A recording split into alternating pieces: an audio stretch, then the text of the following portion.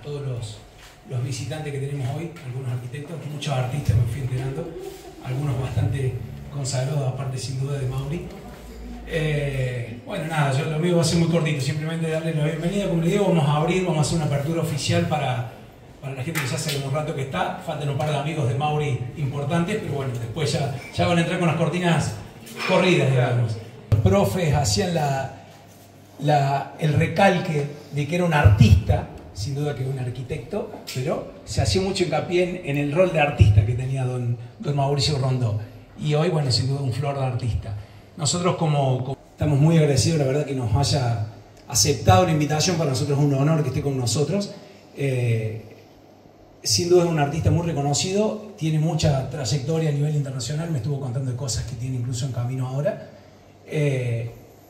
es muy lindo que, que, acepten mostrar en su casa como arquitecto, así que la verdad que me, me llena de, de, de, orgullo que haya aceptado Mauri la, la posibilidad, ha laburado mucho para, para hacer la muestra, siempre a todo artista le falta algo, les cuento todo correo todo el día. Pero,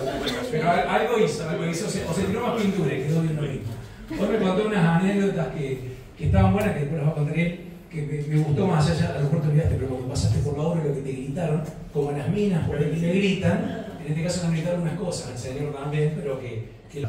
eh, pero después lo contaré Bueno, nada, vamos